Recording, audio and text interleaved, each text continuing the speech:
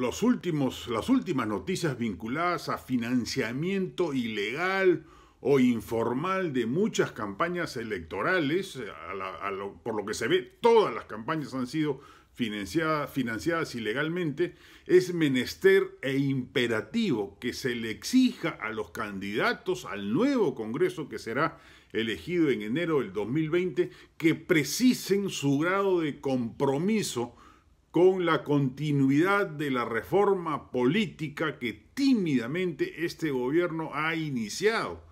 Se han aprobado tres o cuatro reformas cuando son necesarias por lo menos que se aprueben 20, muchas de ellas vinculadas al financiamiento ilegal o al desarrollo de las campañas electorales, pero lo que en general se debe de evitar y debe blindarse al sistema político para impedir que el dinero pese más que los votos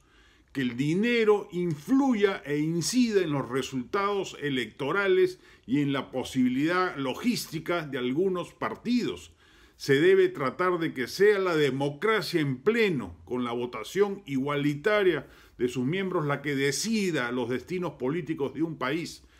La, reforma política debe continuar.